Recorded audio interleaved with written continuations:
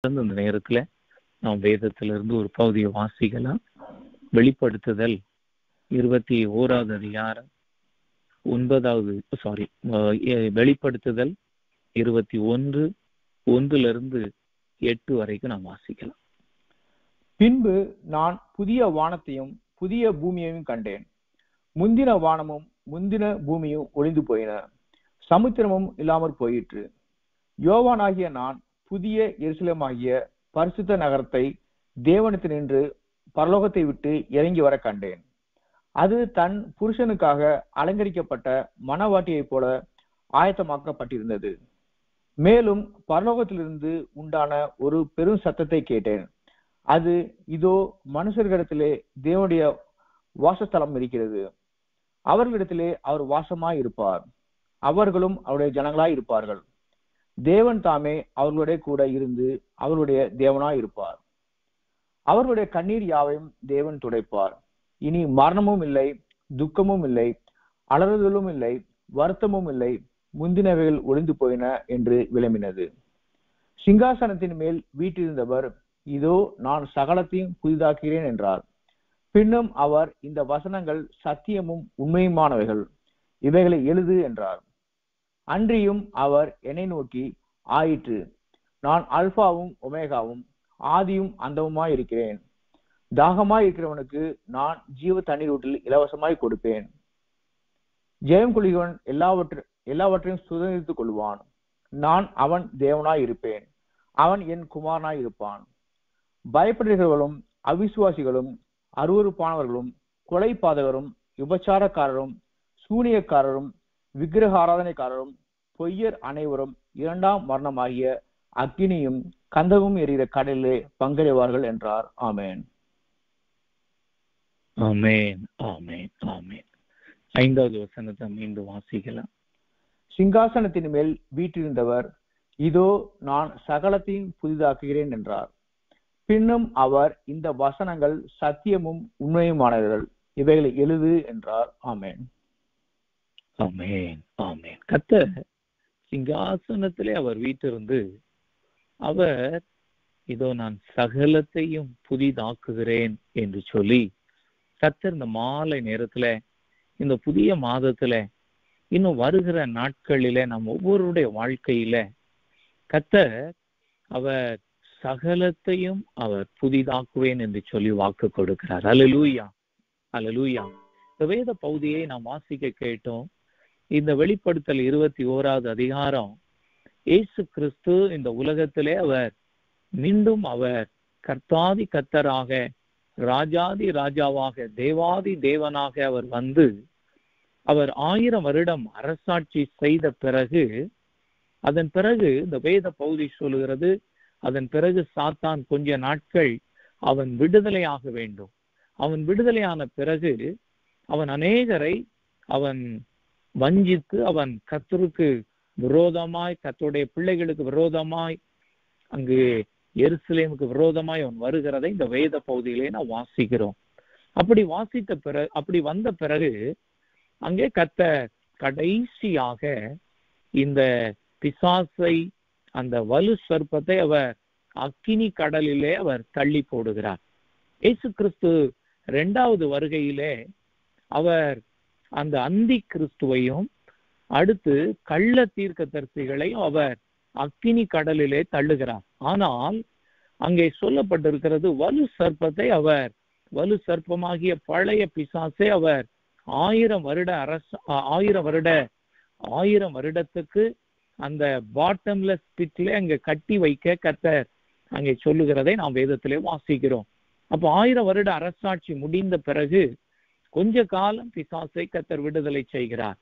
அதன் பிறகு நீ அவனை அவனையும் அவனோடு கூட இல்ல அவனோட நாம் வேதத்திலே பொழுதுல வாசிக்க கேட்டோம். யாரையெல்லாம் கத்த இரண்டாம் மரணமாகிய அந்த அக்கினி கந்தகத்திலே அவர் போடுவார் என்று சொல்லி இங்கு பரிசுத்த ஆவியானவர் ஒரு பட்டியலே அவர் வைத்திருக்கிறார்.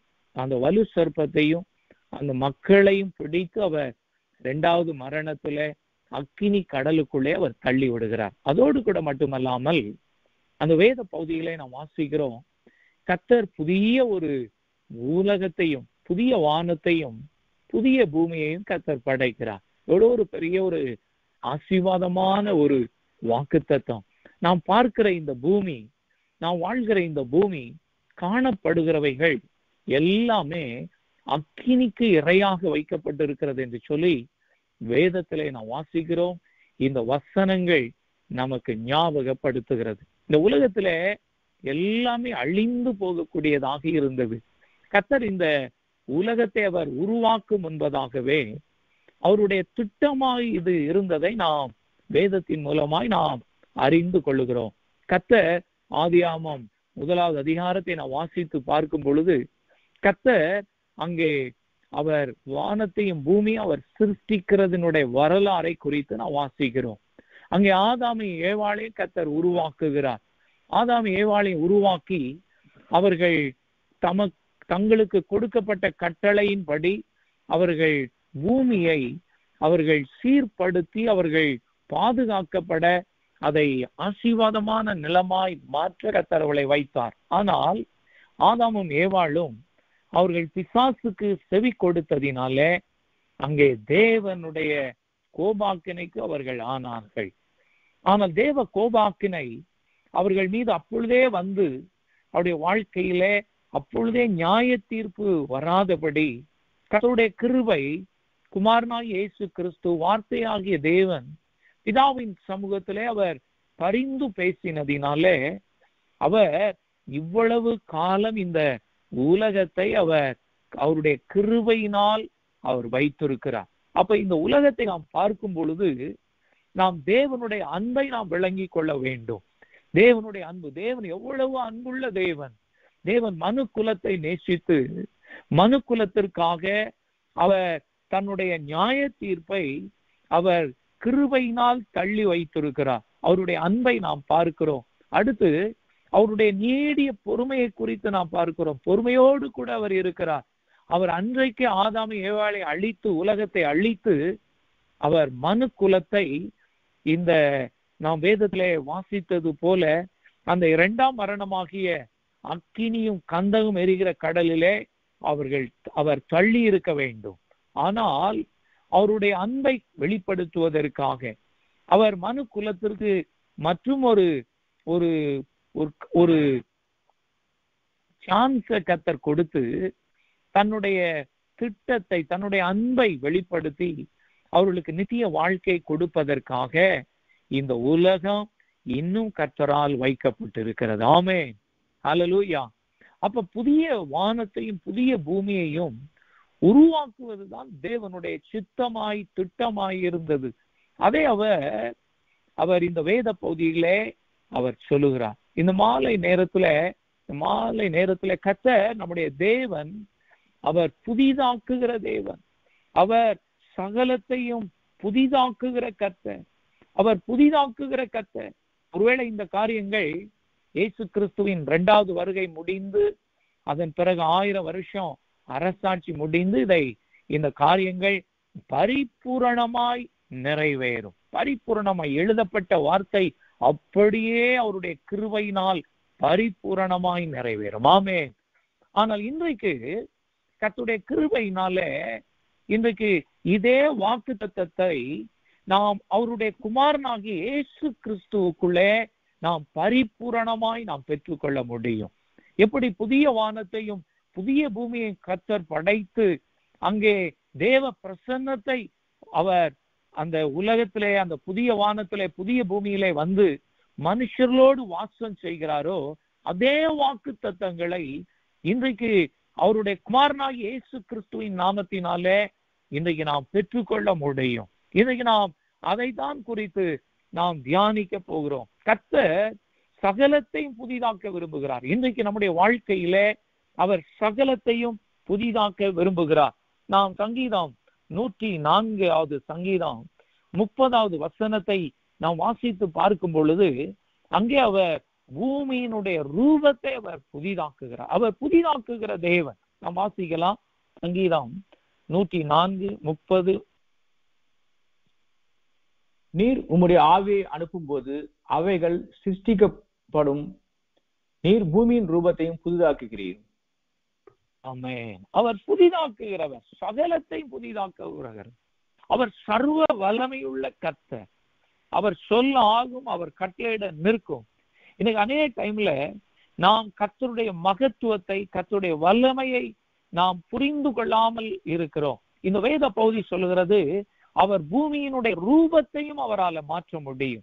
இந்த ப- இந்த அழிந்து போக நியமிக்கப்பட்ட வைக்கப்பட்ட இந்த பூமியினுடைய ரூபத்தை அவர் மாற்றி அதிலே அவர் ஆயிரம் வருடம் அரசாட்சி செய்ய முடியும். அவர் சர்வ வல்லமையுள்ள தேவன். அதோடு கூட மட்டுமல்ல இந்த பூமியை அழித்து புதிய ஒரு உலகத்தையும் அவரால் உண்டாக்க முடியும். அவர் சர்வ வல்லமையுள்ள கர்த்தர். அவர் சர்வ வல்லமையுள்ள கர்த்தர். இந்த மாலை நேரத்துல இன்றைக்கு நம்முடைய வாழ்க்கையில ஒவ்வொருடைய தனிப்பட்ட வாழ்க்கையில அவர் சகலத்தையும் புதிதாக்க விரும்புகிறார். அலலூயா அலலூயா இந்த மாலை நேரத்துல ஒருவேளை நீங்களும் நானும் பிரச்சனைகளோட போராட்டங்களோட கூட வந்திருக்கலாம். கத்த இந்த மாலை நேரத்துல இந்த மாதத்தின் முதல் நாட்கள்ல கத்த நமக்கு வாக்கு கொடுக்கிறார். இதோ நான் சகலத்தையும் புதிதாக்குகிறேன். ஆமே அவர் புதிதாக்குகிற தேவன். இந்த வேத பகுதியிலே அநேக காரியங்களை குறித்து சொல்லப்பட்டாலும் சில காரியங்களை நாம் பார்க்க போகிற கத்தர் புதிதாக்குகிற காரியங்கள் நாம் வெளிப்படுத்துதல் இருபத்தி ஓராவது அதிகாரம் நான்காவது வசனத்தை நாம் வாசிக்கலாம். அவர்களுடைய கண்ணீர் யாவையும் தேவன் துடைப்பார். இனி மரணமும் இல்லை துக்கமும் இல்லை அழகுகளும் இல்லை வருத்தமும் இல்லை முந்தினவைகள் ஒளிந்து போயின என்று விளம்பினது. ஆமென். ஆமே ஆமே இந்த வேத பகுதி மிக ஒரு ஆசீர்வாதமான வேத பகுதி. இந்த வேத பகுதி சொல்லுகிறது ஏசு கிறிஸ்து இந்த ஆயிரம் வருட அரசாட்சி முடிந்து அதன் பிறகு வருகிற அந்த புதிய வானம் அந்த புதிய பூமியில அங்கே கண்ணீர் இல்லாத ஒரு வாழ்க்கை. கண்ணீர் இல்லாத வாழ்க்கை.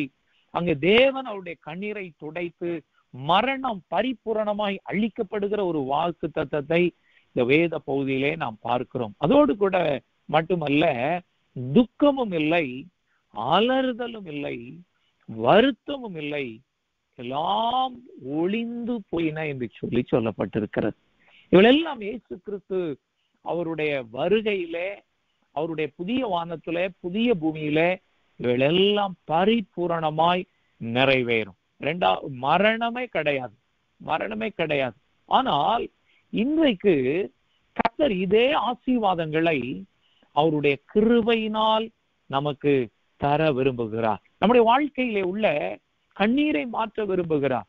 கண்ணீரை மாற்றி நம்முடைய வாழ்க்கையில புதிய காரியத்தை அவர் செய்ய விரும்புகிறார். இதோ நான் சகலத்தையும் புதிதாக்குகிறேன் என்று சொல்லி அவர் செய்கிறதை நாம் வேதத்திலே நாம் வாசிக்கிறோம். வேதத்திலே நாம் வாசித்து பார்க்கும் பொழுது எத்தனையோ கத்துடைய பிள்ளைகள் தேவ சமூகத்துல அவர்கள் கண்ணீரோடு கூட வந்தார்கள். கண்ணீரோடு கூட வந்தார்கள். வாரத்தோடு கூட வந்தார்கள். ஆனால் கத்தர் அவருடைய கண்ணீரை கத்தர் மாற்றினார். ஆமே அலலூயா நாம் வேதத்துல மார்க் எழுதின சுசேஷம் நான்காவது அதிகாரம் இருபத்தி நான்காவது வசனத்திலிருந்து நான் வாசித்து பார்க்கும் பொழுது அங்கே ஒரு தகப்பன் தன்னுடைய மகன் பிசாசினாலே அவன் கொடிய வேதனைப்படுகிறான். அவனை அது அலக்களிக்கிறது அவனை அவன் சில அவனுக்கு ஒரு நோயை ஒரு சந்திர ரோகி நோயை அவனுடைய சரீரத்துல வைத்து அது அந்த பிசாசு அவனை அலக்களித்து கொண்டிருந்தது. அவனை தீயிலே தள்ளினது அவனை தண்ணீரிலே தள்ளினது. ஆனால் கத்துடைய கிருபையினால் அவன் காக்கப்பட்டான். அந்த தகப்பனுடைய வாழ்க்கையில வேதனை துக்கம் கண்ணீர். ஒரு நாள் அவன் தேவ சமூகத்துல அவன் கண்ணீரோடு கூட அவர் அவருடைய சமூகத்திலே வந்து கேட்கிறான். ஆண்டவரே நீர் என்னுடைய மகனுக்கு ஏதாகிலும் செய்யும் என்று சொல்லி அவன் கண்ணீரோடு தேவ சமூகத்திலே வருகிறதை மார்க்கு ஒன்பது இருபத்தி நான்கிலே நாம் வாசிக்கிறோம். வாசிக்கலாம். மார்க் ஒன்பது இருபத்தி நான்கு. உடனே பிள்ளையின் தகப்பன் விசுவாசிக்கிறேன் ஆண்டவரே என் அவிசுவாசம் நீங்கும்படி உதவி செய்யும் என்று கண்ணீரோடு சத்தமிட்டு சொன்னான். ஆமேன். அவன் சத்தமிட்டு சொன்னான். கண்ணீரோடு சொன்னான். அவரிடத்துல சத்தம் நான் விசுவாசிக்கிறேன் ஏசு கிறிஸ்து கேட்கிறாங்க நீ விசுவாசித்தால் கூடும். விசுவாசிக்கிறவனுக்கு எல்லாம் கூடும். ஏசு கிறிஸ்துவால் அவனுக்கு விடுதலை கொடுக்க முடியும் கண்ணீரை மாற்ற முடியும் என்று சொல்லி நீ விசுவாசித்தால் நீ தேவனுடைய மகிமையை காண்பாய் என்று சொல்லி அங்கே கிறிஸ்து அங்கே அந்த தகப்பனிடத்துல பேசும்போது அவன் சத்தமிட்டு அவன் கண்ணீரோடு சொல்லுகிறான் ஆண்டவரே என் என் மகனை விடுதலை செய்யும் நான் விசுவாசிக்கிறேன் ஆண்டவரே. மாலை நேரத்துல உன்னுடைய வாழ்க்கையில பிள்ளைகளை குறித்த பாரங்கள் இருக்கலாம் அல்லது உங்களுடைய சரீரத்தில் இருக்கிற பலவீனங்கள் போராட்டங்கள் அல்லது எதிர்காலத்தை குறித்த போராட்டங்கள் இருக்கலாம். கண்ணீர் ஏதோ ஒரு காரியம் உங்களை கண்ணீருக்குட்படுத்தலாம். ஆனால் இந்த வேத பகுதியிலே கத்த சொல்லுகிறார் அவர் சகலத்தையும் புதியதாக்க விரும்புகிறார். ஆமே ஆமே தேவ சமூகத்துல கண்ணீரோடு வந்தவர்கள் கண்ணீரோடு விதைக்கிறவர்கள் எப்படி அறுப்பாங்களா? அவர்கள் கம்பீரத்தோடு அறுப்பார்கள். நாம் கண்ணீரோடு விதைக்கும் போது நாம் அவருடைய நாமத்தினால் இயேசு கிறிஸ்துவின் நாமத்தினால் கம்பீரமாய் அறுக்க கத்தர் நமக்கு கிருபை செய்வார். அந்த மாலை நேரத்துல மாலை நேரத்துல என்ன காரியம் உங்களுடைய வாழ்க்கையில கண்ணீரை கொண்டு வந்தாலும் நீங்கள் இன்றைக்கு தேவ சமூகத்துல நீங்கள் கண்ணீரோடு கூட அவரை நோக்கி பார்க்கும் பொழுது இதோ நான் சகலத்தையும் புதிதாக்குகிறேன் என்று சொல்கிற கத்தர் உடைய வாழ்க்கையில புதிய காரியத்தை கத்த செய்ய விரும்புகிறார். ஆமே அலலூயா இரண்டாவது வேத பகுதியிலே சொல்லப்பட்டிருக்கிறது அங்கே கண்ணீர் இல்லை மரணம் இல்லை என்று சொல்லி சொல்லப்பட்டிருக்கிறது. ஒருவேளை இந்த உலகத்துல கத்தர் வருகை தாமதிக்குமானால் நாம் இன்றைக்கு உயிரோடு இருக்கிறவர்கள் மறிக்கிறது கத்தரால் நியமிக்கப்பட்டிருக்கிறது. இந்த உலகத்துல ஒருவேளை லாசருவினுடைய வாழ்க்கையில நாம் பார்க்கிறோம் லாசருவை கத்தர் உயிரோடு எழுப்பினார் ஆனால் அவன் மறித்து போய் விட்டிருப்பான் போய் போயிருப்பான். அப்ப இந்த மரணம் இந்த உலகத்துல வரக்கூடியது. ஆனால் கத்த இந்த உலகத்திலே அவர் மரண பயத்தை கத்த நம்முடைய வாழ்க்கையிலிருந்து விளக்குகிறார். இந்த மரணம் இந்த ரெண்டு இந்த உலகத்துல வருகிற இந்த மரணம் ஏசு கிறிஸ்து இந்த புதிய வானத்தையும் புதிய புதிய பூமியையும் படைக்கும் போதுதான் இந்த மரணமும் பாதாளமும் நரகத்திலே தூக்கி போடப்படும். அது வரைக்கும் கத்த இந்த மரணம் இருக்கத்தான் செய்யும். ஆனால் கத்த மரண பயத்திலிருந்து நம்மை விடுதலை செய்கிறவராக இருக்கிறார். நாம் எபே எபிரேய இரண்டாவது அதிகாரம் பதினான்கு பதினைந்த நம்ம வாசித்து பார்க்கும் பொழுது பதினைந்தாவது வசனத்தை வாசிக்கலாம். எபிரேயர் ரெண்டு பதினைந்து.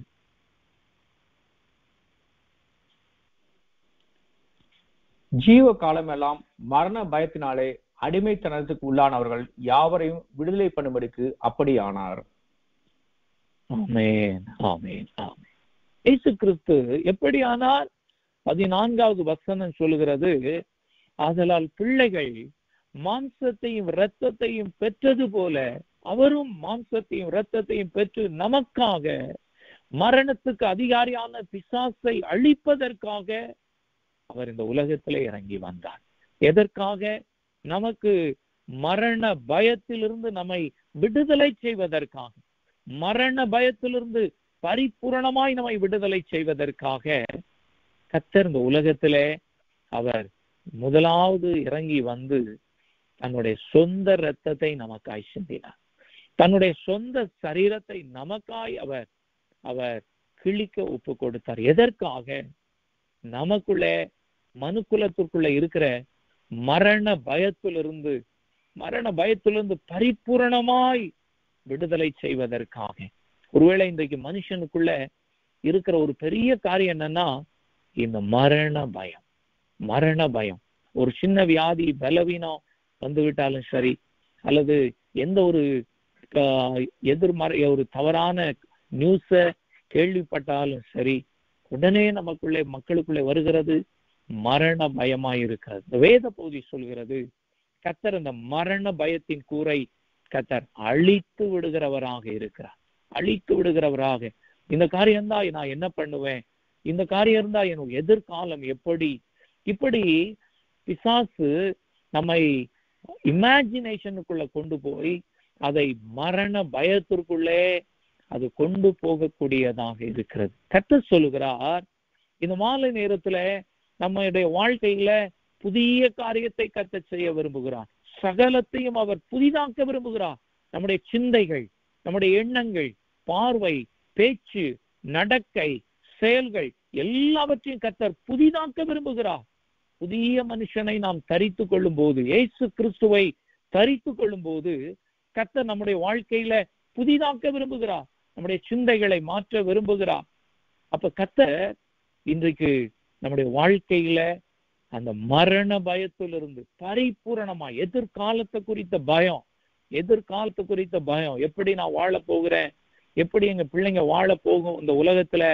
அப்படி என்று சொல்லி அந்த மரண பயத்தை பிசாசு இன்றைக்கு மக்களுக்குள்ளே கொண்டு வருகிறான். ஆனால் கத்தர் சொல்கிறார் நான் சகலத்தையும் புதிதாக்குறேன் ஏசு கிறிஸ்துவின் ரத்தம் ஒரு மனுஷனுக்குள்ள வரும் பொழுது அது பரிபூரணமாய் அவனுடைய வாழ்க்கையில விடுதலை செய்கிறது. ஏனென்றால் இயேசு கிறிஸ்து அவர் மரணத்தை அவர் ஏற்றுக்கொண்டார். இயேசு கிறிஸ்து நமக்காக அவர் கண்ணீர் விட்டதினால நாம் வேதத்துல வாசிக்கிறோம் ஜீவகாலமெல்லாம் மரண பயத்தில் அடிமைத்திருந்த யாரையும் விடுதலை செய்வதற்காக அவர் அப்படி ஆனார் என்று சொல்லி சொல்லப்பட்ட அதே எதிரையர்ல ஐந்தாவது அதிகாரத்துல நாம் வாசித்து பார்க்கும் பொழுது அவர் மாம்சத்தில் இருந்த நாட்களில அவர் பலத்த சத்தத்தோடு கண்ணீரோடு நமக்காய் ஜெபித்தார். எதற்காக? நம்முடைய கண்ணீரை மாற்றுவதற்காக.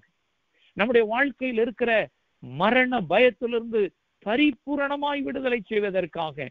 நம்முடைய வாழ்க்கையில சகலத்தையும் புதிதாக்குவதற்காக ஏசு கிறிஸ்து அவர் நம்முடைய கண்ணீரை அவர் ஏற்றுக்கொண்டார். அவர் நம்முடைய மரணத்தை ஏற்றுக்கொண்டார்.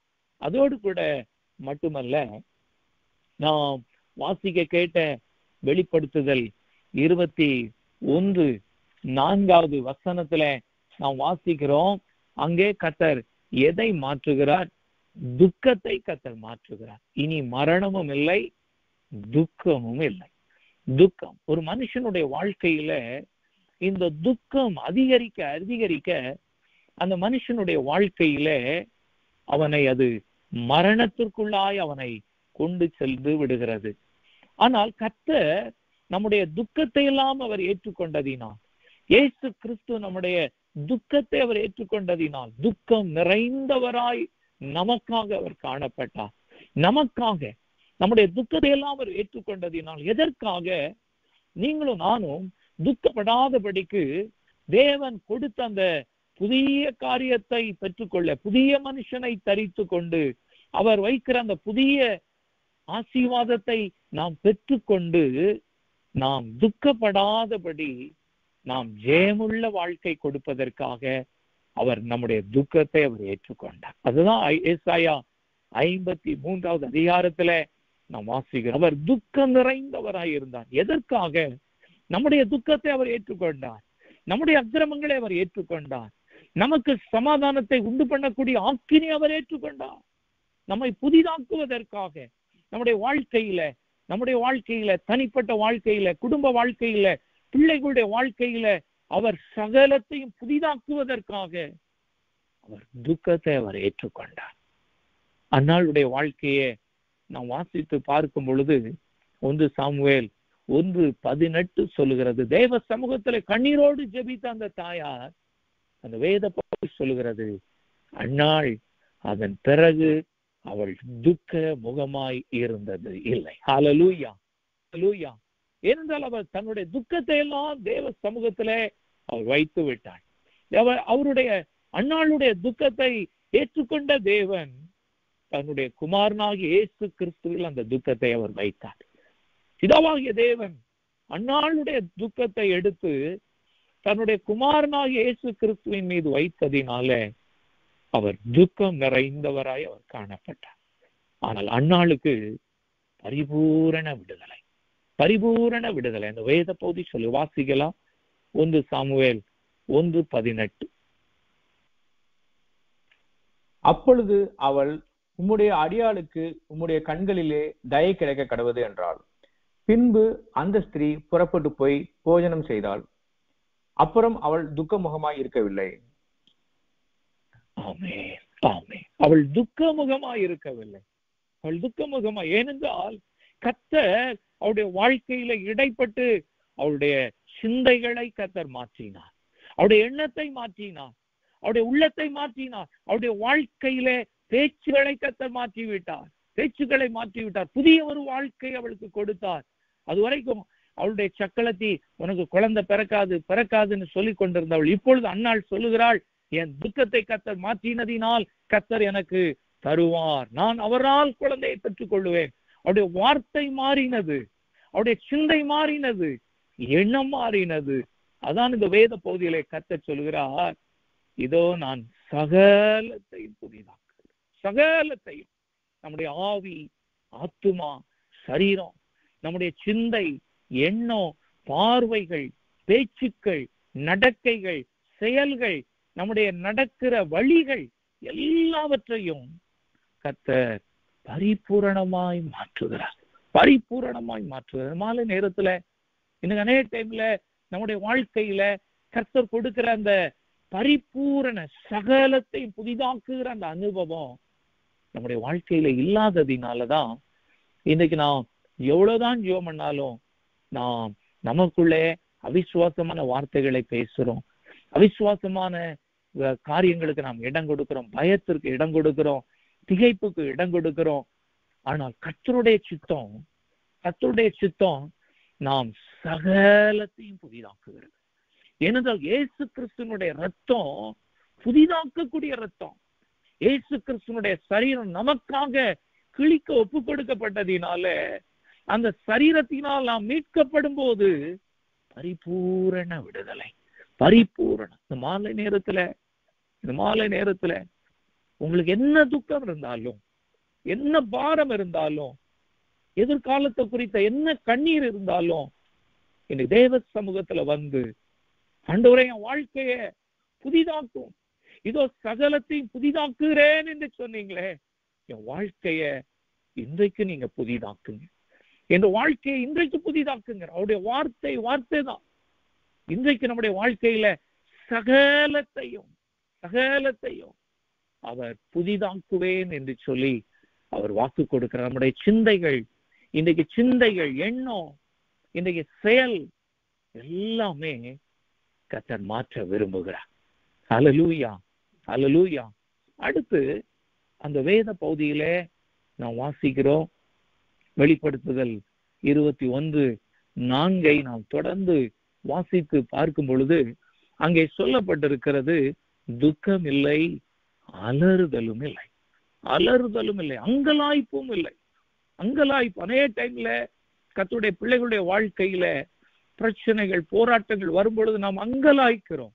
உண்மைதான். ஏன்னா நாம் இந்த உலகத்துல இருக்கிறதுனால நாம் சில காரியங்களை குறித்து அங்கலாய்க்கிறோம். ஆனால் கத்தர் சொல்கிறார் அங்கலாய்ப்பை கத்தர் மாற்றுவார். அங்கலாய்ப்பை கத்தர் மாற்றுவார்.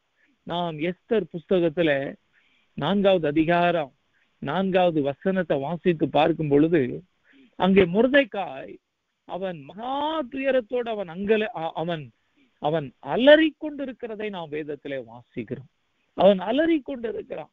அவன் ரெட்டு வஸ்திரம் உடுத்து அவன் அலறி கொண்டிருக்கிறதை நாம் வேதத்திலே நாம் வாசிக்கிறோம்.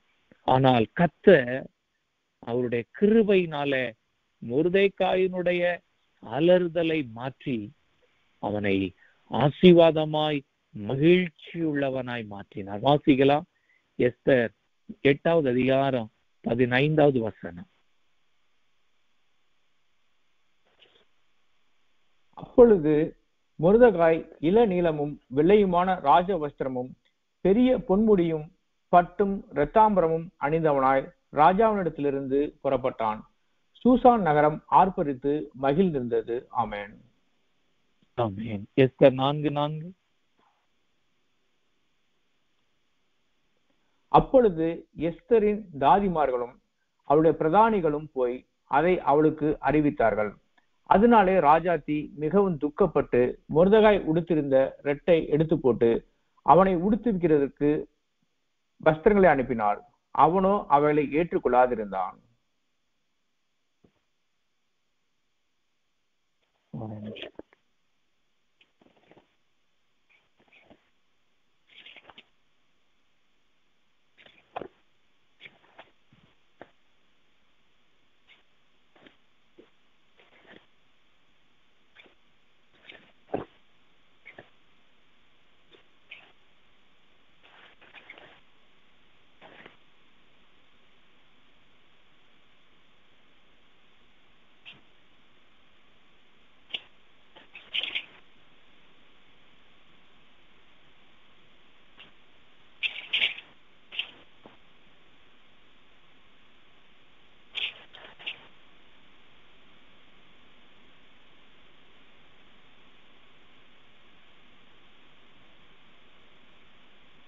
ஒன்னாவது வசனம் சாரி நான்கு ஒன்று நடந்த யாவற்றையும் முருதகாய் அறிந்தபோது முருதகாய் தன் வஸ்திரங்களை கிழித்து ரெட்டுடுத்தி சாம்பல் போட்டுக்கொண்டு நகரத்தின் நடுவே புறப்பட்டு போய் துயரமுள்ள மகா சத்தத்துடன் அலறிக்கொண்டு ராஜாவின். அவன் அலறி கொண்டு அவன் அலறி கொண்டிருந்தான்.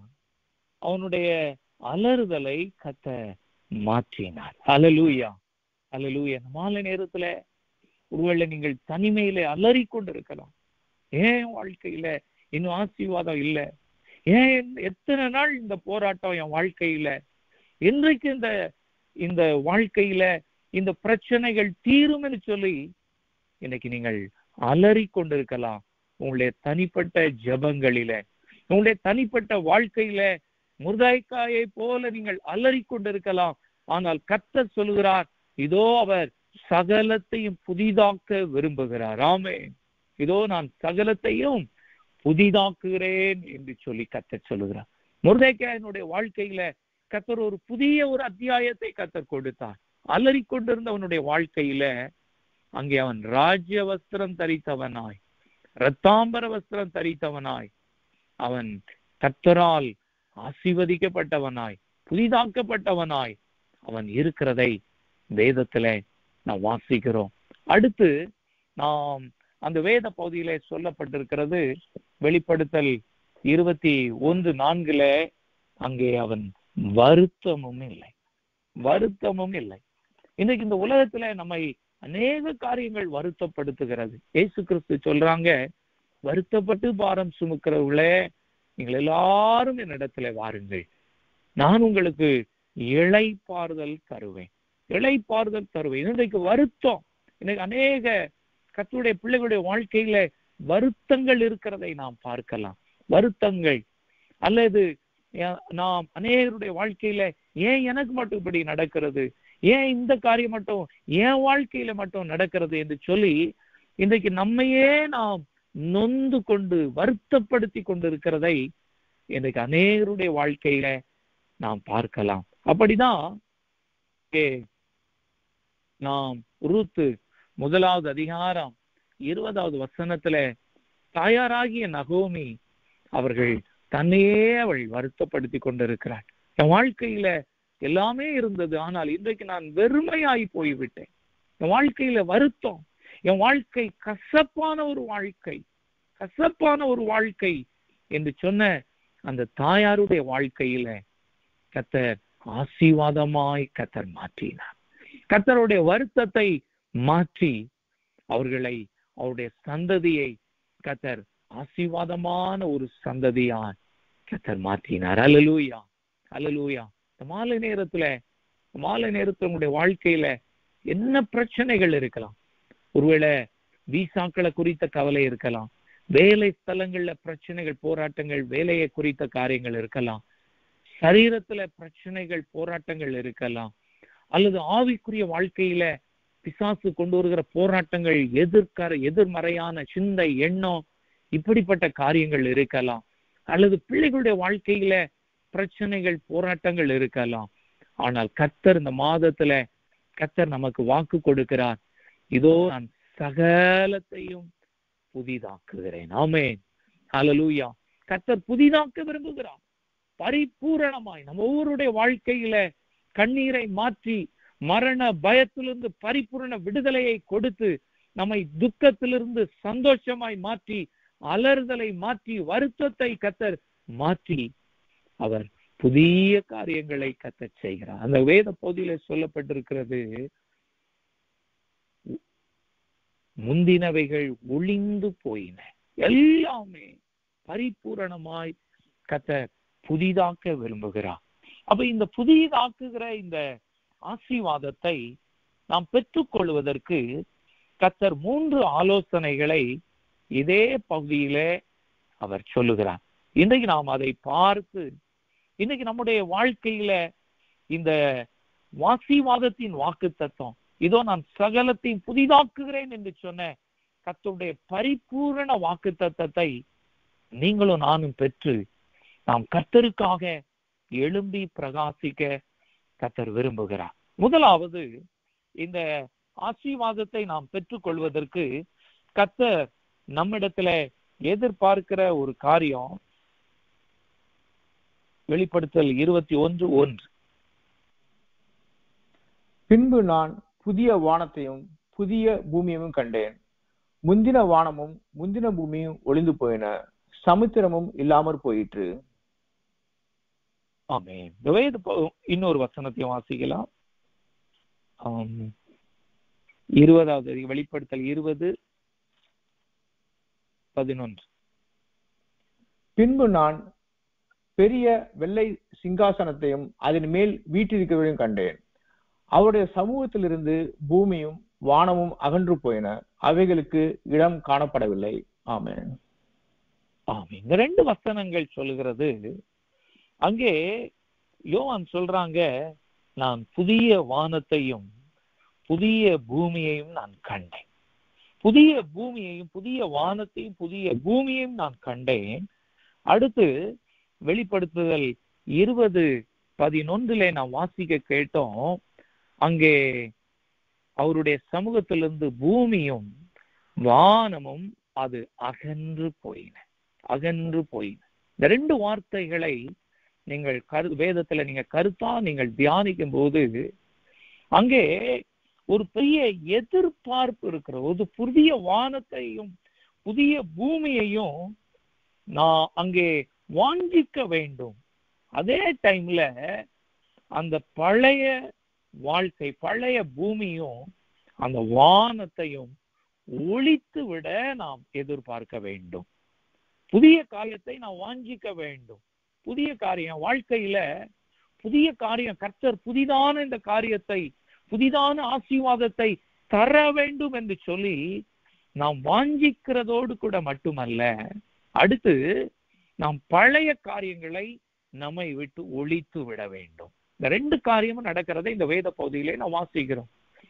பழைய பழைய பூமியும் சாரி பழ புதிய அஹ், மீண்டும் இருபது பதினொன்ற வாசிங்க. பின்பு நான் பெரிய வெள்ளை சிங்காசனத்தையும் அதன் மேல் வீற்றிருக்கிறவரையும் கண்டேன். அவருடைய சமூகத்திலிருந்து பூமியும் வானமும் அகன்று போயின. அவைகளுக்கு இடம் காணப்படவில்லை. ஆமென். பூமியும் வானமும் அகன்று போயின. இந்த பூமி நாம் வாழ்கிற இந்த பூமியும் வானமும் அகன்று போனாதான் புதிய ஒரு பூமி புதிய ஒரு வானம் வர முடியும். ஆமேன். அதனால கத்தர் முதலாவது அவர் இந்த புதிய காரியத்தை அவர் செய்வதற்கு முன்பதாக இதோ நான் சகலத்தையும் புதிதாக்க விரும்புகிறேன் என்று சொல்லி கத்தர் அங்கே அவருடைய வார்த்தை வெளிப்படுவதற்கு முன்பதாக அந்த பழைய பூமி பழைய வானம் அவைகள் ஒளிந்து போகிறதை இந்த வேத பகுதி நமக்கு தெளிவாய் சொல்லுகிறது. அப்ப நம்முடைய வாழ்க்கையில இன்னைக்கு கர்த்தர் சகலத்தையும் புதிதாக்க வேண்டும் என்றால் நம்முடைய வாழ்க்கையில பழையவைகள் பரிபூரணமாய் அழிக்கப்பட்டு விட வேண்டும். பழையவைகள் புளித்து போன காரியங்கள் பரிபூரணமாய் நம்மை விட்டு எடுத்து போடப்பட வேண்டும். நாம் இந்த வெளிப்படுத்துதல் இருபதாவது அதிகாரம் பதினொன்றாவது வசனத்துல நீங்கள் நீங்க வாத்து பார்க்கும் பொழுது அங்கே சொல்லப்பட்டிருக்கிறது பூமி. பூமி ஒளிந்து போயின வானமும் அகன்று போயின. இந்த மனுஷனை கத்தர் அவர் ஆதாமை அவர் உருவாக்கும் போது அவர் எதிலிருந்து அவர் அவனை எடுத்தார்? பூமியிலே உள்ள மண்ணிலிருந்து அவர் எடுத்தார். மண்ணிலிருந்து எடுத்து அவனை மனுஷனாய் உருவாக்கினார். மனுஷனாய் உருவாக்கினார். அப்ப அந்த மனுஷன் மண்ணிலிருந்து அந்த மனுஷனை அவர் உ- எடுத்து அதன் பிறகு அவர் ஜீவ சுவாசத்தை ஊதினதினால் அவன் ஜீவாத்துமாவானான் அப்ப இந்த மண் நீ அதன் தொடர்ந்து மூன்றாவது அதிகாரத்தை நீங்க வாசித்து போகும்போது நீ மண்ணானாய் மண்ணுக்கு திரும்புவாய் என்று சொல்லி கத்த சொல்லுகிறார். அப்ப இந்த மண் எதை குறிக்கிறது? இது நம்முடைய மாம்சத்தை குறிக்கக்கூடியதாக இருக்கிறது. மாம்சத்தை குறிக்கக்கூடியதா இருக்கிறது. இயேசு கிறிஸ்து ஆயிரம் வருட அரசாட்சிக்கு பிறகு அவர் லிட்ரலாகவே இந்த புதிய வானத்தை இந்த பூமி பரிபூரணமாய் அழிந்து போய்விடும். புதிய ஒரு ஆசீர்வாதத்தை புதிய பூமியை அவர் கொண்டு வருவார். ஆனால் இன்றைக்கு நாம் அந்த பரிபூரண ஆசீர்வாதத்தை நாம் பரிபூரணமாய் பெற்றுக்கொள்ள வேண்டும் என்றால் இன்றைக்கு நம்முடைய வாழ்க்கையில இருக்கிற இந்த மாம்சம் பரிபூரணமாய் அழிக்கப்பட வேண்டும். இந்த மாம்சம் இந்த மாம்சம் பரிபூரணமாய் அழிக்கப்பட்டாதான் நம்முடைய வாழ்க்கையில புதிய மனுஷனாகி ஏசு கிறிஸ்துவை நாம் தரித்து கொள்ள முடியும். அப்ப இந்த மாம்சமும் மாம்ச சிந்தைகளும் நம்முடைய வாழ்க்கையில பரிபூரணமாய் அழிக்கப்பட்டு விட வேண்டும். அந்த அவைகள் அழிக்கப்பட்டு அந்த புதிய மனுஷனாக இயேசு கிறிஸ்துவை நாம் தரிக்கும் போதுதான் நம்முடைய வாழ்க்கையில புதிய காரியம் நடக்கும். நான் வேதத்துல இதற்கு ஆதாரமாய் மற்றும் ஒரு காரியத்தை நான் வாசிக்கலாம். கலாத்திய ஐந்தாவது அதிகாரம் அது எல்லாரும் தயவு செய்து நீங்க பைபிள் எடுத்துக்கொள்ளுங்க. கலாத்தியர் ஐந்து பதினெட்டுல இருந்து இருபத்தி நான்கு வரைக்கும் வாசிக்கலாம். ஆவினால் நடத்தப்படுவீர்களானால் நீங்கள் நியாய பிரமாணத்திற்கு கீழ்ப்பட்டவர்கள் அல்ல. மாம்சத்தின் கிரியைகள் வெளியரங்கமாய் இருக்கின்றன. அவையாவன விபச்சாரம் வேசித்தனம் அசுத்தம் காமவிகாரம் விக்கிரக ஆராதனை பில்லிசூன்யம் பகைகள் விரோதங்கள் வைராக்கியங்கள் கோபங்கள் சண்டைகள் பிரிவினைகள் மார்க்க பேதங்கள் ஆவின் கனியோ அன்பு பொறாமைகள் கொலைகள் வெறிகள் களியாட்டுகள் முதலானவைகளே. இப்படிப்பட்டவைகளை செய்கிறவர்கள் தேவனுடைய ராஜ்யத்தை சுதந்திரப்பில்லை என்று முன்னே நான் சொன்னது போல இப்பொழுதும் உங்களுக்கு சொல்லுகிறேன். ஆவியின் கனியோ அன்பு சந்தோஷம் சமாதானம் நீடிய பொறுமை தயவு நற்குணம் விசுவாசம் சாந்தம் இச்சையடக்கம் இப்படிப்பட்டவர்களுக்கு விரோதமான பிரமாணம் ஒன்றுமில்லை. கிறிஸ்துவனுடையவர்கள் தங்கள் மாம்சத்தையும் அதன் ஆசை இச்சைகளையும் சிலுவையில் அறைந்திருக்கிறார்கள். நாம் ஆவினாலே வேத பகுதி சொல்கிறது மாம்சத்தை சிலுவையிலே நாம் அடித்து விட வேண்டும். கிறிஸ்துவனுடையவர்கள் தங்களுடைய மாம்சத்தையும் அதன் ஆசை இச்சைகளையும் சிலுவையிலே அறைந்திருக்கிறார்கள். அரைந்திருக்கிறார்கள் நான் வாசிக்க கேட்ட இந்த வேத பகுதியிலே மாம்சத்தின் காரியங்கள் வெளிப்படுத்துதல் இருபத்தி ஒன்றாவது அதிகாரம் எட்டாவது வசனத்திலே அவைகள் எல்லாமே அங்கே எங்க தள்ளப்படுகிறது? கந்தகத்திலே ரெண்டு அங்கே அக்கினி கடலிலே தள்ளப்படுகிறது. அக்னி கடலிலே அவைகள் தள்ளப்படுகிறது. அப்ப அப்பதான் புதிய ஒரு காரியம் வர முடியும். அப்ப இன்றைக்கு நம்முடைய வாழ்க்கையில நாம் இந்த மாம்சத்தை வைத்துக்கொண்டே மாம்ச சிந்தைகளை மாம்ச எண்ணங்களை கோபங்கள் பொறாமைகள் களியாட்டுகள் இன்னும் இந்த வேத பகுதியிலே சொல்லப்பட்டிருக்கிறது விரோதங்கள் சண்டைகள் பிரிவினைகள் இந்த காரியங்களை வைத்து கொண்டே என் வாழ்க்கையில நான் புதிய காரியத்தை புதிய அஹ், ஆசீர்வாதத்தை பெற்றுக் கொள்ளுவேன் என்று சொல்லி நாம் நினைத்தோன்னா அது முடியாது. வேத பகுதி மிக தெளிவாய் சொல்லுகிறது. அப்ப இன்றைக்கு தேவனுடைய வாக்குத்தத்தம் நம்முடைய வாழ்க்கையில நிறைவேற வேண்டும் என்றால் தேவன் நம்முடைய வாழ்க்கையில நம்முடைய குடும்பத்துல பிள்ளைகளுடைய வாழ்க்கையில கத்தர் சகலத்தையும் புதிதாக்க வேண்டும் என்றால் இன்னைக்கு நாம் நம்முடைய பழைய காரியங்களை புளித்து போன காரியங்கள் உலக மாம்சத்தை நாம் சிலுவையிலே நாம் அடித்து விட வேண்டும். ஏசு கிறிஸ்துவோடு கூட நான் சிலுவையிலே அடிக்கப்பட்டேன். ஆகிலும் நான் பிழைத்திருக்கிறேன். இனி நான் அல்ல கிறிஸ்துவே எனக்குள்ளே ஜீவிக்கிறார். கிறிஸ்துவே எனக்குள்ளே ஜீவிக்கிறார். பழையவைகள் ஆசை இச்சைகள் எதுல அடிக்கப்பட வேண்டுமா? வேத பகுதி சொல்கிறது சிலுவையிலே அடிக்கப்பட வேண்டும். அவைகள் பரிபூரணமாய் அழிக்கப்பட்டு விட வேண்டும். எப்படி நாம் ஆஹ், வெளிப்படுத்துதல்? இருபதாவது அதிகாரத்துல நாம் வாசிக்கிட்டோமோ அந்த பூமி அது இல்லாமற் போய்விட்டது. இல்லாமற் போய்விட்டது. வானம் இல்லாமற் போய்விட்டது. அதன் பிறகுதான் புதிய பூமி புதிய வானம் வரும். அதன் பிறகுதான் கத்தர் சகலத்தை புதிதாக்க முடியும். இன்னைக்கு நாம் தேவனிடத்துல நாம் எதிர்பார்க்கிற ஆசீர்வாதம் அந்த புதிய ஆசீர்வாதம்.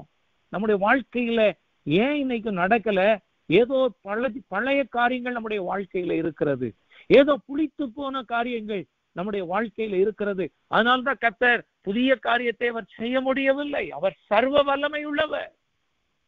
அப்ப இன்றைக்கு நாம் ஒன்று நாம் வாஞ்சிக்க வேண்டும்.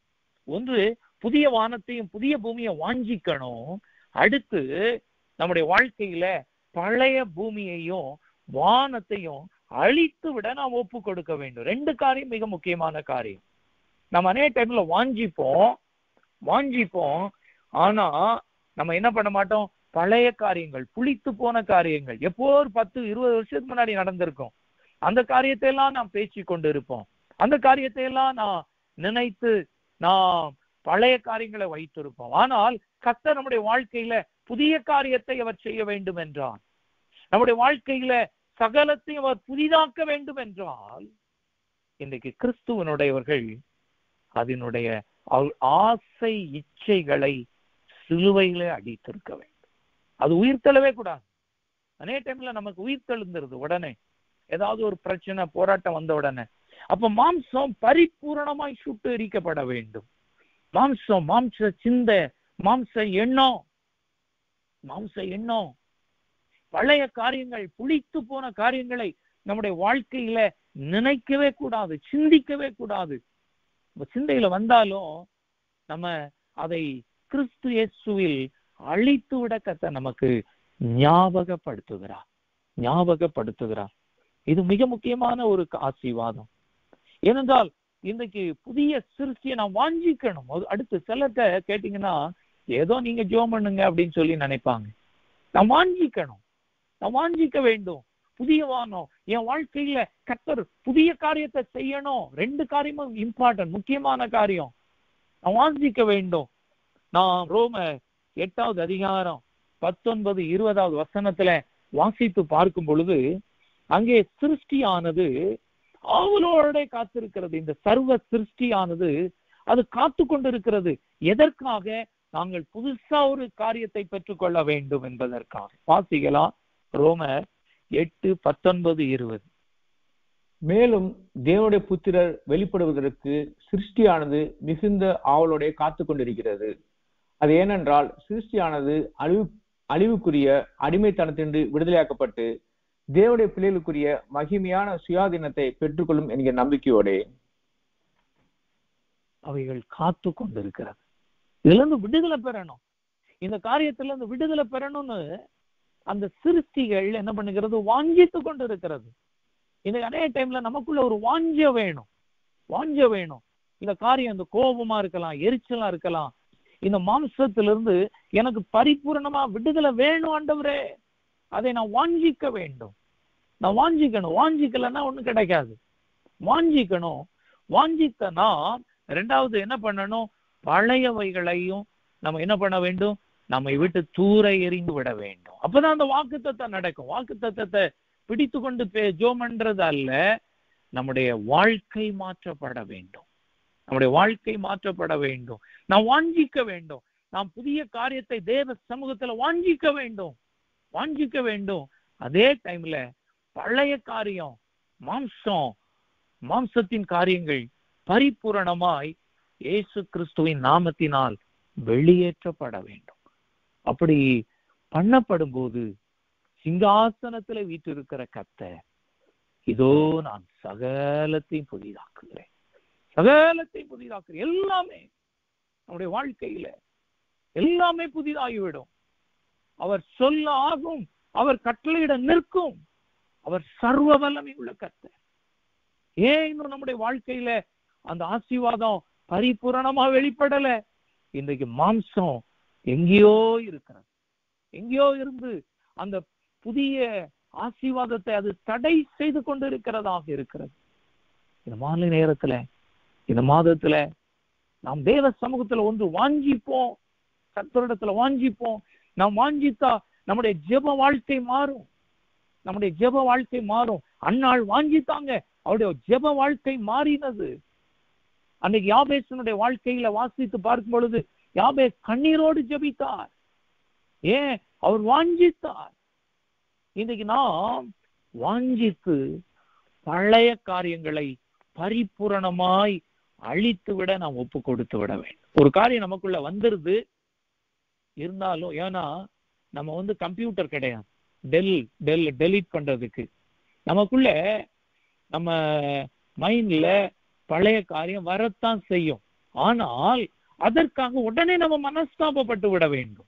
மனசு உடனே மனஸ்தாபப்பட்டுரும் ஒருவேளை யோசித்து பாருங்க ஒரு பத்து வருஷத்துக்கு முன்னாடி உன்னுடைய க- குடும்பத்துல நடந்த ஒரு காரியமா இருக்கலாம் கணவன் மனைவிக்குள்ள ஒரு பிரச்சனை வந்திருக்கலாம். இப்ப திடீர்னு அந்த காரியம் உங்களுக்குள்ள வருது நீங்க அதை சொல்றீங்க. இப்ப நீங்க நீங்க என்ன பண்ணணும்? ஐயோ நான் தெரியாம நான் பேசிட்டேனே இந்த காரியத்தை அப்படின்னு சொல்லி மன்னிப்பு கேட்கணும் அட்லீஸ்ட் ஏன்னா நம்ம டெலீட் பண்ணிட முடியாது. சில காரியம் நம்முடைய எமோஷனலா நமக்குள்ள இருக்கும். அது சில டைம்ல வெளிப்படும். அதை என்ன பண்ணணும்? உடனே என்ன பண்ணணும்? பிடிச்சு என்ன பண்ணணும்? சிலுவையில அடிச்சிடணும். அது உயிர் தழுதமா இருக்கும். டக்குன்னு என்ன பண்ணணும்? சிலுவையில அதை பிடிச்சு அடிச்சிடணும். ஐயோ தெரியாம பண்ணிட்டேன் அப்படின்னு சொல்லி நாம் அந்த காரியத்திற்காக மனஸ்தாபப்பட்டு நாம் அதை சிலுவையிலே நாம் அடித்து விட வேண்டும். அதுதான் தேவன் நம்மிடத்துல எதிர்பார்க்கிறார். அப்ப அப்படி ஒரு காரியம் வரும்போது அத நம்ம அதற்காக அடுத்த டைம் என்ன பண்ணணும்? அது வராதபடி நாம் செய்யணும். வராதபடி செய்யணும். அப்ப பழையவைகளை ஒழித்து விட வேண்டும். எல்லாம் புதிதாக்கப்பட வேண்டும். சிந்தை எண்ணம் பார்வை பேச்சு நடக்கை செயல் மாற்றப்பட வேண்டும். இன்னைக்கு மாற்றப்படலைன்னா நாம் புதிய ஆசீர்வாதத்தை பெற்றுக்கொள்ள முடியாது. தேவ வாக்கு தத்தங்கள் இன்னும் ஏன் நம்முடைய வாழ்க்கையில நிறைவேறவில்லை? எங்கேயோ பழைய காரியங்கள் இருக்கிறது பழைய பூமி இருக்கிறது இந்த பூமி இருக்கிறது வானம் இருக்கிறது இவைகள் அழிக்கப்பட வேண்டும். இந்த நேரத்துல நம்முடைய மாம்ச கேரக்டர் சுயம் சுயம் பரிபூரணமாய் சுட்டரிக்கப்பட வேண்டும். எல்லாருடைய வாழ்க்கையில என்னுடைய வாழ்க்கையில அது வெளிப்படும். நாம் எல்லாத்தையும் சுயம் இயேசு கிறிஸ்துவின் நாமத்தினால் அழிக்கப்பட்டு கொண்டே இருக்க வேண்டும். அது பரிபூரணமாய். அப்ப அப்படி நாம் செய்யும் போது கத்த நம்முடைய வாழ்க்கையில அவர் புதிய காரியத்தை இதோ நான் சகலத்தை புதிதாக்குறேன் சகலமும். ஆவி ஆத்துமா சரீரம் சிந்தை எண்ணம் பார்வை பேச்சு நடக்கை செயல் குடும்ப வாழ்க்கையில எல்லாவற்றிலும் கத்தர். பரிபூரணத்தை தர விரும்புகிறார். அலலூயா அலலூயா அப்ப முதலாவது நாம் பழைய காரியத்தை ஒழித்து புதிய காரியத்தை வாங்கிக்க வேண்டும். இரண்டாவது கத்த நம்மிடத்துல அவர் எதிர்பார்க்கிறது வாசிக்கலாம் வெளிப்படுத்துதல். இருபத்தி ஓராவது அதிகாரம் இரண்டாவது வசனம். யோவானாகிய நான் புதிய எருசலேமாகிய பரிசுத்த நகரத்தை தேவனிடத்திலிருந்து பரலோகத்தை விட்டு இறங்கி வர கண்டேன். அது தன் புருஷனுக்காக அலங்கரிக்கப்பட்ட மனவாட்டியை போல ஆயத்தமாக்கப்பட்டிருந்தது. ஆமேன். வேத பகுதியிலே கத்த சொல்றாங்க அங்கே அது ஆயத்தப்படுத்தப்பட்ட அந்த பரம ஆசீர்வாதம் ஆயத்தப்படுத்தப்பட்ட அந்த புதிய வானம் புதிய பூமி இப்ப என்ன பண்ணுகிறது? அது இறங்கி வருகிறதாக இருக்கிறது.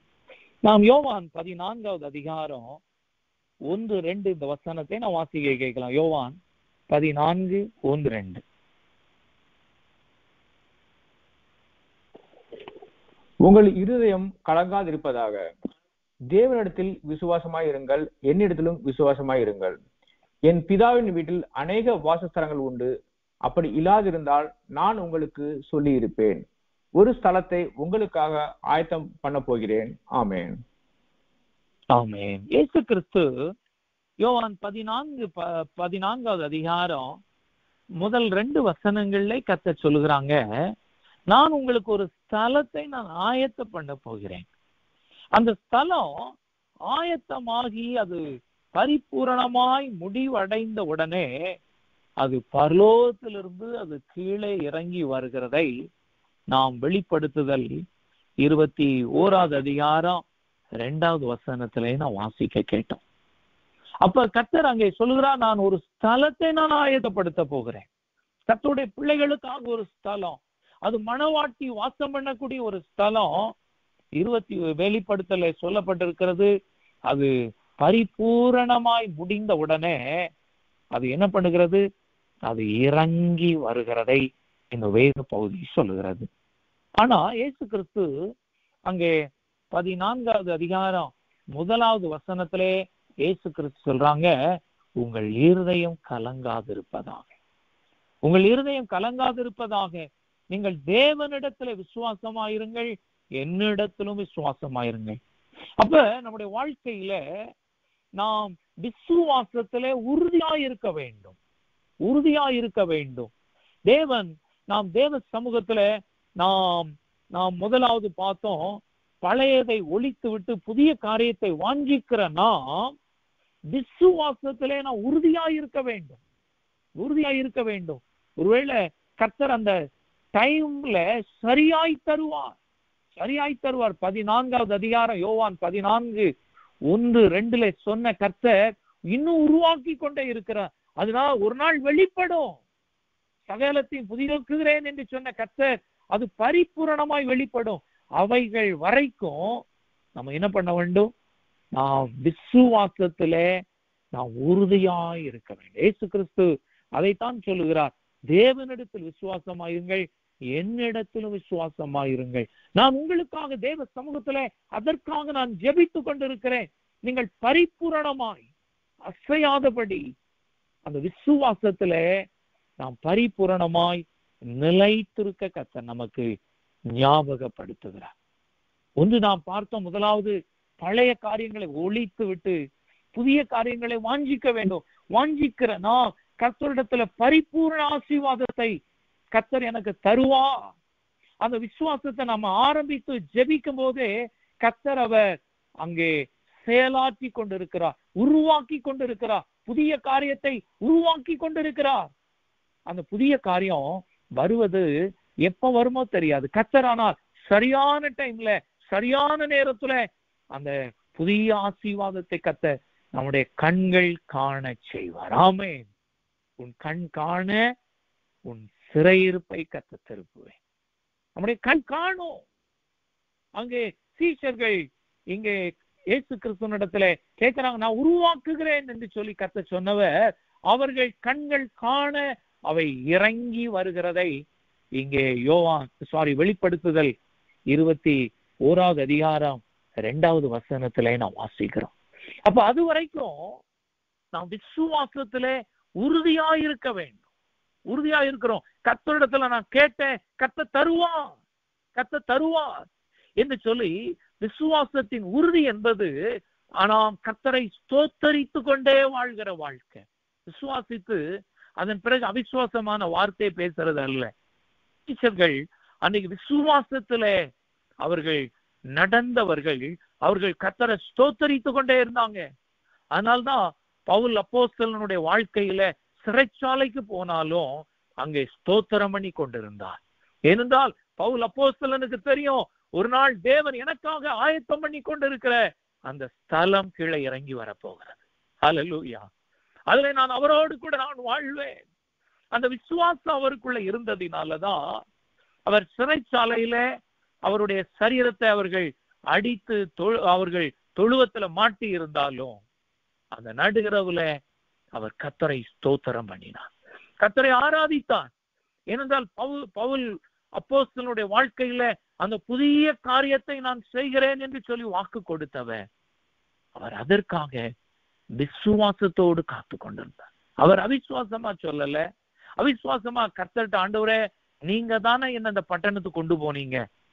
நீங்க தானே அந்த பட்டணத்துக்கு கொண்டு போனீங்க? ஏன் இந்த காரியம்னு சொல்லி அவர் கேள்வி கேட்டுட்டு இருக்கல்ல அவர் தேவனை ஸ்தோத்திரம் பண்ணினார். அதுதான் விசுவாசத்தின் பரிபூரணம். விசுவாசத்தின் பரிபூரணம். ஆனா விசுவாச பட்டியல வாசிக்கும் போது அவர்கள் எல்லாரும் கத்தரை என்ன பண்ணாங்க? ஸ்தோத்தரித்து கொண்டே இருந்தார்கள். கத்தரை மகிமைப்படுத்தி கொண்டிருந்தார்கள். தேவ சமூகத்துல நாம் எதற்காக ஜோ பண்ணலாம்? நாம் மனமடிந்து விடக்கூடாது. மனமடிந்து விடக்கூடாது. பழையவைகளை நாம் களைந்து போட்டு புதித காரியத்தை தேவ சமூகத்துல வாஞ்சிக்கிறனா விசுவாசத்தோடு கூட விசுவாசத்தோடு கூட கத்தைய வாழ்க்கையில அவர் புதிய காரியத்தை சொன்னவர் செய்வார். சொன்னவர் செய்வார். அந்த வேத பகுதியில கத்தர் வாக்கு கொடுக்கும் போது நாம் அந்த வெளிப்படுத்துதல் இருபத்தி ஒண்ணு ஐந்த நீங்க மீண்டும் வாசிங்க. சிங்காசனத்தின் மேல் வீற்றிருந்தவர் இதோ நான் சகலத்தையும் புதிதாக்குகிறேன் என்றார். பின்னும் அவர் இந்த வசனங்கள் சத்தியமும் உண்மையுமானவைகள்.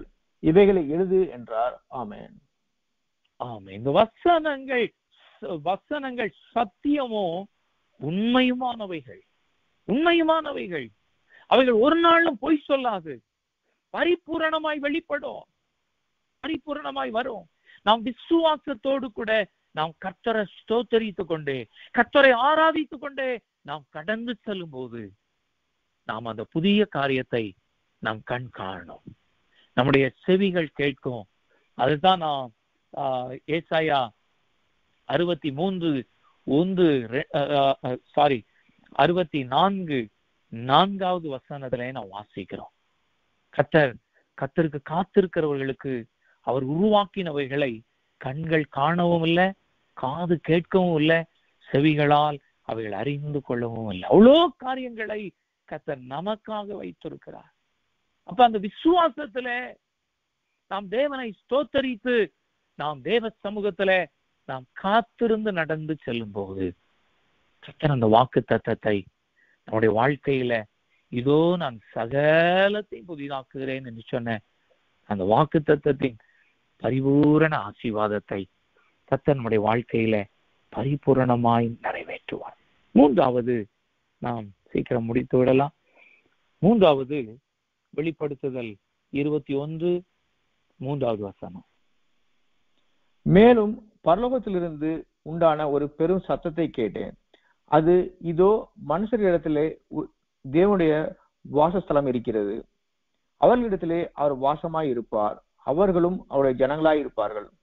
தேவன் தாமே அவர்களுடைய கூட இருந்து அவர்களுடைய தேவனாய் இருப்பார். ஆமேன். ஆமேன். மிக ஆசீர்வாதமான வேத பகுதி. இந்த வேத பகுதியிலே கத்தர் அவளோடு கூட வாசமா இருப்பார். எவ்வளவு ஒரு பெரிய ஒரு ஆசீர்வாதம். தேவன் இதோ மனுஷர்கள் மத்தியிலே அவ வாசம் செய்ய விரும்புகிறா இன்னைக்கு நம்ம மத்தியிலே வாசம் செய்ய விரும்புகிறா. நாம் அதை அவரை வாஞ்சிக்க வேண்டும். கத்தரின் பிரசன்னத்தை நாம் வாஞ்சிக்க வேண்டும். நீர் எனக்கு போதும். நீர் எனக்கு போதும். ஆண்டவரை இந்த உலகத்துல ஏசு எனக்கு போதும். நீர் எனக்கு போதும் என்று சொல்லி நாம் அவரை வாஞ்சிக்கும் போது அவருடைய பிரசன்னத்தை நாம் வாஞ்சிக்கும் போது நாம் தேவனுடைய பரிபூரண புதிதாக்குதலை நாம் பெற்றுக்கொள்வோம். ஆமே அலலூயா அலலூயா நாம் சங்கீதம் இருபத்தி ஏழு நான்கை நாம் வாசிக்கும் போது கத்தரிடத்துல நான் ஒன்றை கேட்டு அதே நாடுவேன். ஆண்டவரே நம்முடைய கூடாரத்துல நான் உட்கார்ந்து நான் வாஞ்சிப்பேன் ஆண்டவரே. நான் வாஞ்சிப்பேன். மானானது நீரோடைகளை வாஞ்சித்து கதறுவது போல நம்முடைய ஆத்துமா தேவ பிரசன்னத்தை வாஞ்சிக்க வேண்டும். தேவ பிரசன்னத்தை வாஞ்சிக்க வேண்டும். அப்ப தேவ பிரசன்னத்திலே நாம் அமர்ந்திருக்கும் போது அமர்ந்திருக்கும் போது சில வசனங்களை நாம் வாசிக்கலாம். சங்கீதம் எண்பத்தி நான்கு ஒன்னு ரெண்டு பத்து. மூன்று வசனங்களை வாசிக்கலாம். சங்கீதம் எண்பத்தி நான்கு ஒன்னு ரெண்டு பத்து. சேனைகளின் கர்த்தாவே உமது வாசஸ்தலங்கள் எவ்வளவு இன்பமானவைகள். என் என் ஆத்துமா கத்துடைய ஆலய பிரகாரம் மேல் வாஞ்சியும் தவனமா இருக்கிறது. என் இருதயமும் என் மாம்சமும் ஜீவனுள்ள தேவன் நோக்கி கம்பீர சத்தமிடுகிறது. ஆயிரம் நாளை பார்க்கிலும் உமது பிரகாரங்களில் செல்லும் ஒரே நாள் நல்லது. ஆகாமிய கூடாரங்களில் வாசமாய் இருப்பதை பார்க்கிலும் என் தேவனுடைய ஆலயத்தின் வாசற்படியில் காத்திருப்பதையே தெரிந்து கொள்வேன். ஆமேன். ஆமென். வேத பகுதி சொல்கிறது ஒருவேளை ஆலயம் என்பது பழைய ஏற்பாட்டில் அது எருசலேம் ஆலயத்தை குறித்து சொல்லப்பட்டிருந்தாலும் புதிய ஏற்பாட்டில் ஆலயம் என்பது இயேசு கிறிஸ்துவையே சொல்கிறது. இயேசு கிறிஸ்துவையே சொல்கிறது. அவர்தான் ஆலயம். அப்ப இயேசு கிறிஸ்துவின் பிரசன்னத்தை விரும்ப வேண்டும். ஆலயத்தை போய் சுத்தி சுத்தி வர்றதில்லை. ஆலயத்துல சண்டே நான் போகலன்னா எனக்கு ஏதாயிரம் ஆயிரம் அப்படி அல்ல. ஆலயம் என்பது ஏசு கிறிஸ்து. இயேசு கிறிஸ்து பரிசுத்த ஆவியானுடைய நிறைவை நான் வாஞ்சிக்க வேண்டும். கிறிஸ்துவை நான் வாஞ்சிக்க வேண்டும். அந்த வாஞ்சை நமக்குள்ளே வர வர அவருடைய பிரசனத்திலே வர வர வர வர அந்த புதிய காரியம் நம்முடைய வாழ்க்கையில பரிபூரணமாய் நிறைவேறும். ஆமே அல்லலூயா அல்லலூயா அவருடைய பிரசனத்தை நான் வாஞ்சிக்கும் போது அவர் நம்முடைய வாழ்க்கையில பழையவைகளை எல்லாம் ஒழித்து விடுகிறார். அவருடைய பிரசன்னத்தை வாஞ்சிக்க வாஞ்சிக்க வாஞ்சிக்க நம்முடைய சிந்தைகள் புதிதாகிறது. நம்முடைய எண்ணங்கள் புதிதாகிறது. நம்முடைய வார்த்தை புதிதாகிறது. நம்முடைய உறவுகள் புதிதாகிறது. எல்லாமே புதிதாகிறது. அடுத்து இவள் எல்லாம் புதிதாகும் போதே கத்தர் நான் வாஞ்சிக்கிற அந்த புதிய ஆசீர்வாதத்தையும் கத்தர் கொடுக்கிறார். ஆமே. அலலூயா அலலூயா மூன்று முக்கியமான காரியங்களை இந்த வேத பகுதியிலே நாம் வாசிக்க கேட்டோம். நாம் தியானித்தோம். கத்த நம்முடைய வாழ்க்கையில அவர் சகலத்தையும் புதிதாக்க வேண்டும் என்றார் புதிதாக்க வேண்டும் என்றார் முதலாவது நாம் பழையதை பழைய பூமி பழைய பூமி வானத்தை அழித்து விட்டு வானத்தை பூமி மாம்சத்திற்கு அடையாளம் பழைய வானம் என்பது அது பிசாசுக்கு அது அடையாளமா இருக்கிற ஏனென்றால் ஆகாயத்துல இருக்கிறவன் அந்த பிசாசு இன்றைக்கு. கத்த ரெண்டு பேரையும் இங்க எங்கே போடுகிறார்? வெளிப்படுத்தல் இருபத்தொன்றுல பார்த்தோம். அங்கே மாம்சத்துல நடந்தவர்களையும் பிசாசையும் கத்தர் எங்கே தள்ளுகிறார்? அவர் அங்கே அக்கினி கடலிலே தள்ளுகிறார். அப்ப மாம்சத்திற்கு இடம் கொடுக்காதபடி மாம்சத்திற்கு இடம் கொடுக்காதபடி பிசாசுக்கு இடம் கொடுக்காதபடி இன்னைக்கு நாம் விசுவாசத்துல உறுதியாயிருந்து நாம் தேவனை ஸ்தோத்தரித்து அவருடைய பிரசன்னத்தை வாஞ்சிக்கும் போது கத்த நம்முடைய வாழ்க்கையில புதிய காரியத்தை அவர் செய்ய விரும்புகிறார். நம்ம எல்லாரும் முழங்கார் படியிட்டு முழங்கார் படியிட்டு கத்துடைய வாக்கு தத்தம் சொல்லுகிறது இதோ நான் சகலத்தையும் புதிதாக்குகிறேன். சகலத்தையும் புதிதாக்குகிறேன். இந்த வாக்கு தத்தத்தை நீங்க இந்த மாலையிலே கத்தர் என்னோடு பேசினார் என்று சொல்லி நீங்க உங்களுடையதாய் அதை மாற்றிக்கொள்ள வேண்டும். அண்டவரே இந்த வாக்கு தத்தத்தை நீங்க எனக்கு தந்தீங்க. நீங்க எனக்கு தந்தீங்க. எல்லாரும் முழங்கார் படிக்கிட்டு வாயை திறந்து நீங்க சொல்லுங்க. வாயை திறந்து ஆண்டவரே இந்த மாதத்துல இந்த வாக்கு தத்தத்தை நீங்க தந்தீங்க. நம்ம அதை விசுவாசிக்கணும். ஏதோ ஒரு வசனம் அப்படி அல்ல. ஆண்டவரே இதோ நான் சகலத்தையும் புதிதாக்குகிறேன் என்று சொல்லி இன்னைக்கு நீங்க என்னோடு கூட பேசுனீங்க. என்னோடு பேசுனீங்க. என் வாழ்க்கையில இந்த வாக்கு தத்துவம் பரிபூரணமா நிறைவேற வேண்டும். பரிபூரணமா நிறைவேற வேண்டும். என் கண்ணீரை மாற்றணும் நீங்க. என் அலறுதலை மாற்றணும். ஆண்டவரே எவ்வளோ காரியம். வருத்தம் இருக்கிறது. வருத்தம் இருக்கிறது. துக்கம் இருக்கிறது ஆண்டவரை. உங்களால தான் மாற்ற முடியும். உங்களால தான் மாற்ற முடியும். நீங்க பட்ட பாடுகள் தான் நீங்க சிந்தி நம்முடைய ரத்தம் தான் நீங்க எனக்காய் சாபமானீங்க. எனக்காக நீங்க பாவமாக்கப்பட்டீங்க. இன்றைக்கு இயேசு கிறிஸ்துவின் நாமத்தினால அந்த புதிய வாழ்க்கை எனக்குள்ள வரட்டும். அந்த புதிய வாழ்க்கை எனக்கு தாங்க வாயை திறந்து கேளுங்க. வாயை திறந்து உங்களுடைய போனை மியூட்ல போட்டு வாயை திறந்து கேளுங்க. எனக்குள்ள அந்த பழைய காரியம் இருக்கிறது ஆண்டவரே. மாம்சம் இருக்கிறது. அது புளித்து போன காரியம். அந்த பழைய பூமி வானம் ஒளிந்தாதான் புதிய பூமியும் புதிய வானமும். ஆண்டவரே இன்றைக்கு எனக்குள்ள இருக்கிற அந்த மாம்சம் எனக்குள்ள இருக்கிற சுயம் அழிக்கப்படட்டும். ஏசு கிறிஸ்துவின் நாமத்தினால அழிங்க ஆண்டவரே. அழிங்க எனக்கு இது வேண்டாம். வேண்டாம் வாஞ்சிங்க. எனக்கு இந்த மாம்சம் வேண்டாம். இந்த ஆண்டவரே மாம்சமும் இச்சையும் எனக்கு வேண்டாம். வேண்டாம். ஆண்டவரே கிறிஸ்துவினுடையவர்கள் தங்களுடைய சரீரத்தையும் ஆசை இச்சைகளையும் சிலுவையில் அடித்திருக்கிறார். சிலுவையில் அடித்திருக்கிறார். ஆண்டவர்கிட்ட சொல்லுங்க ஆண்டவரே இந்த பழைய காரியம் என் மாம்சம் என் மாம்சம் என் சிந்தை என் சிந்தை எரிச்சல் கோபம் ஆண்டவர் இச்சை இதெல்லாம் சிலுவையில் அடிக்கப்படணும். சுயம் ஏசு கிறிஸ்துவின் நாமத்தினால மறையணும். மறையணும். அது வேண்டாம். அது வேண்டாம். ஏசு கிறிஸ்துவின் நாமத்தினால எடுத்து போடுங்க. எடுத்து போடுங்க ஆண்டவரை வாயை திறந்து கேளுங்க. எடுத்து போடுங்க ஆண்டவரை. ஆண்டவரே ஆண்டவரே அந்த காரியத்தை என்னால விட முடியலப்பா. எனக்கு உதவி செய்யுங்க. எனக்கு உதவி செய்யுங்க. இன்னைக்கு கத்தர் உங்களுக்கு உதவி செய்கிறா அதற்கு தான் பரிசுத்த தேவ ஆவியானவரை கொடுத்திருக்கிறார். பலப்படுத்துகிறார் அவர். அவர்தான் நம்முடைய பலவீனங்களில் நமக்கு உதவி செய்கிறவர். உதவி செய்கிறவர் அவர்தான் இன்றைக்கு அவர் நமக்கு உதவி செய்கிறார். உதவி செய்கிறார். அது வேண்டாம். அந்த பழைய வாழ்க்கை வேண்டாம். ஆண்டவரே புதிய வாழ்க்கை. ஏசு கிறிஸ்துவ நான் தரித்து ஏசு கிறிஸ்துவை தரித்தவனா நான் நடக்கணும். என் வாழ்க்கையில ஆண்டவரே அந்த புதிய வாழ்க்கை புதிய வாழ்க்கை தாங்க தாங்க இந்த மாலை நேரத்துல. கத்தர் உங்களுக்கு என்ன செய்யணும்? கத்தர் உங்களுக்கு என்ன செய்யணும்? வாங்கியோட சொல்லுங்க. ஆண்டவரே இந்த காரியம் என்ன கண்ணீர் கண்ணீரை கொண்டு வருது. இந்த காரியம் என்ன அலற வைக்கிறது ஆண்டவரே. என் வாழ்க்கையில துயரத்தை கொண்டு வருது ஐயா. என்ன காரியம் இன்றைக்கு அற்புதம் செய்யணும்?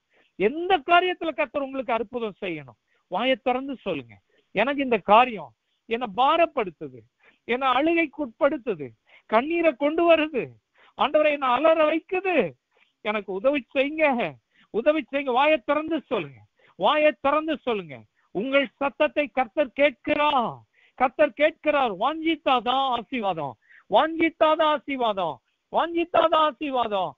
ஆண்டவரே என் வாழ்க்கையில என் தனிப்பட்ட வாழ்க்கையில பலவீன கூற முறிங்க மூற முறிங்க. போராடுகிற ஆவிகள் பொல்லாத ஆவிகள் எரிக்கப்படட்டும் எரிக்கப்படட்டும். வீசாக்கள் அற்புதம். கத்தாவே சோதரம் பிள்ளைகளுடைய வாழ்க்கையில விடுதலை. இயேசு கிறிஸ்துவின் நாமத்தினா கால லூயா கால லூயா வாயை திறந்து கேளுங்க. இந்த காரியத்திற்காக நான் ஜோம் பண்றேன். இன்றைக்கு இதோ நான் சகலத்தை புதிதாக்குகிறேன் என்று சொல்கிறேன் கத்தோடைய வார்த்தை இயேசு கிறிஸ்துவின் நாமத்தில். கத்தாவே இந்த மாலை நேரத்துல ஆண்டவரே உமை நோக்கி கூப்பிட்டு கொண்டிருக்கிற ஒவ்வொரு சகோதர சகோதரருடைய வாழ்க்கையில சகலத்தையும் புதிதாக்குங்க. நீங்க தான் புதிதாக்குகிறவ. எங்களை புதிதாக்குவதற்காக தான் உங்களுடைய சொந்த குமாரனை அனுப்புனீங்க. உங்களுடைய சொந்த குமாரனுடைய ரத்தம் சிந்தப்பட்டு இருக்கிறது ஏசு கிறிஸ்துவின் ரத்தம் சிந்தப்பட்டு இருக்கிறது ஏசு கிறிஸ்துவின் சரீரம் கிழிக்கப்பட்டு இருக்கிறது அவருடைய நாமத்தின் நிமித்தம் ஏசு கிறிஸ்துவின் நாமத்தின் நிமித்தம் ஏசு கிறிஸ்துவின் நாமத்தினால் ஆண்டவரை புதிதாக்கட்டும் புதிதாக்குங்க. சகலமும் சகலமும் இயேசு கிறிஸ்துவின் நாமத்தினால் புதிதாக்கப்படட்டும். பழையவைகள் ஏசு கிறிஸ்துவின் நாமத்தில் ஒளியட்டும். ஏசு கிறிஸ்துவின் நாமத்தில் ஏசு கிறிஸ்துவின் நாமத்தில் ஒளியட்டும். உமக்கு நன்றி உமக்கு நன்றி உமக்கு நன்றி. வாயை திறந்து நன்றி செலுத்துங்க. வாயை திறந்து நன்றி செலுத்துங்க.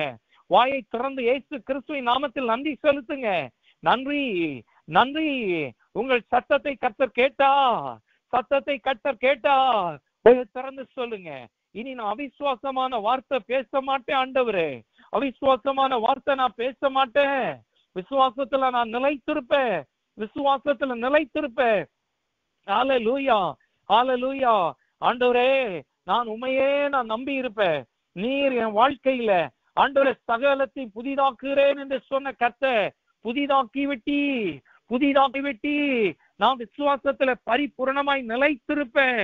ஹalleluya உமக்கு ஸ்தோதரம் உமக்கு ஸ்தோத்திரம். நீர் உருவாக்கி கொண்டிருக்கிறீ ஒவ்வொருடைய ஜெபத்திற்கும் ஏசு கிறிஸ்துவின் நாமத்தில் இப்பொழுது பதில் உருவாகி கொண்டிருக்கிறது.